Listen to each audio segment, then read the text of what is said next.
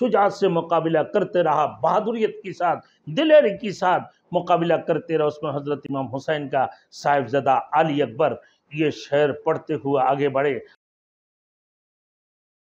Thanks for watching. Don't forget to like, comment, share, and subscribe to Maulana Habibullah Rouhani Official. تو ہر شخص یہ خواہش تھے کہ ہم اللہ کے راستے پہ شہید ہو جائے امام حسین کی سامنے نہ میرے دوستوں پہلے شہید ہو جائیں۔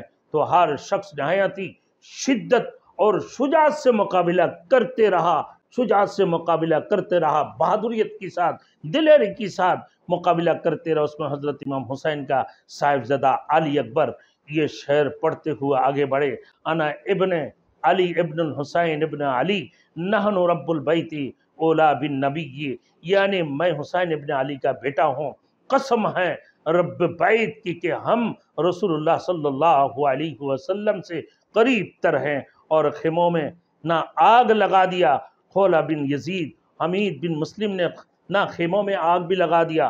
انہی حالت میں خولا بن یزید نہ، اور پھر حمید بن مسلم نے ان حضرات کی سر کو لے کر کوفہ روانہ ہوا اور اپنے ابن زیاد کے سامنے پیش کیے۔ عبید اللہ ابن زیاد نے چھڑی سے حضرت امام حسین رضی اللہ تعالیٰ عنہ کو شہید کے سمر جشن نے